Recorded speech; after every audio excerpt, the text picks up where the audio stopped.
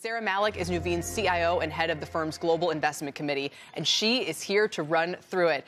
Saira, the con- controversial is what I was uh, meant in referencing your REIT pick, which, if I'm correct, is this an area where you guys think investors should be for 2023? I mean looking at, did you say REITs? Yeah. Uh, you know, we like um, public REITs. We think that they've ex- priced in excessive pessimism for this year. If you look at the stocks, they're down significantly more than they are than they usually are during downward cycles. So they've overly priced in what we acknowledge is a rollover in the housing market. And this is important. Oftentimes the stocks will price in what's going on with the fundamentals well ahead of time. In a cyclical industry like real estate, I think public REITs do look interesting at these prices because they're overdone on the downside. What do you think, Dom? So it's interesting because you mentioned the residential side of things, and there's no doubt real estate is more tied to interest rate markets than possibly many other industries out there. But when it comes to residential, we've seen the rollover and the cool off in housing prices.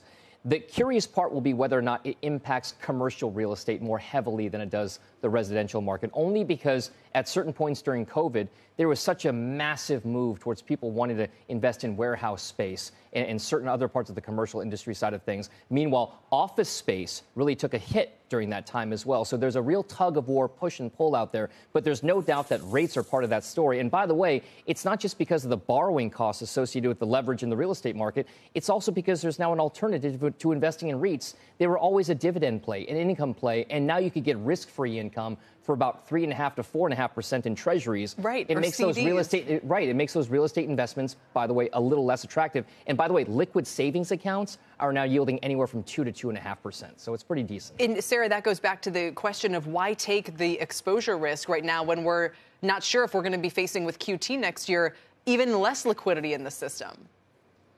You know, I think that basically when you're looking at the fundamentals, and I agree that you need to be selective within uh, the real estate sector. Commercial, I think, does have some structural issues going forward, especially in urban centers. But there's other areas that remain quite strong in the more rural centers and also in apartment areas and um, other residential areas. I think the other good news with real estate, though, is that it's disinflationary. So if you look at the inflation numbers going forward, shelter prices have been a key reason why inflation has peaked and start to roll, roll over, as well as less spending on goods, which was another big component of inflation going forward. Now, the bad news, of course, is wages. Wages remain very high. Mm-hmm. Uh, they're a large component of inflation, and that's why we think inflation stays likely higher for longer, and the slope of the decline is not as extreme as maybe the market's hoping for.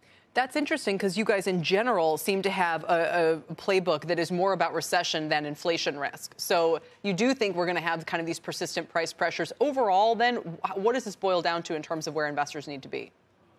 So for 2023, the key risk is a recession. And the two reasons why we're worried about it are the impacts of tighter monetary policy and the mixed economic data that we're seeing. And what is that impact on earnings, which are likely still too high for next year, corporate margins, and also the consumer. So, how do you build a recession resistant playbook? Within equities, look at companies like dividend growers. They do have this income component and lower volatility. They still look cheap to us. Outside of it, we actually like fixed income over equities. You can get equity like returns from fixed income in higher quality areas, such as investment grade. And then outside of public markets, you can look at real assets like farmland and infrastructure. These tend to be more resilient sectors with companies like waste management in them and for infrastructure. And this, again, is fairly recession resilient. That's what you want yeah. to focus on next year as we do worry about economic data.